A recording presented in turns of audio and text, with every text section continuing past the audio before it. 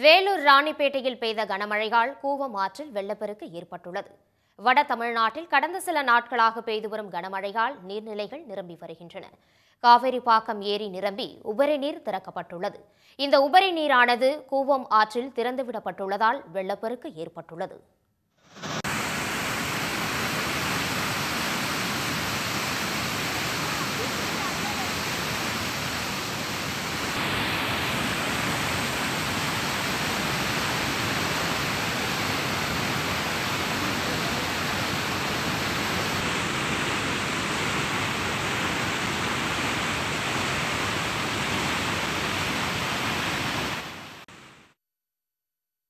கூவம் ஆற்றில் ஏற்பட்டுள்ள வெள்ளப்பெருக்கு காரணமாக மதுரவாயில் அடையாளம்பட்டு திருவேற்காடு ஆகிய பகுதிகளில் ஏற்கனவே மூன்று தரை பாலங்கள் நீரில் மூழ்கியுள்ளன.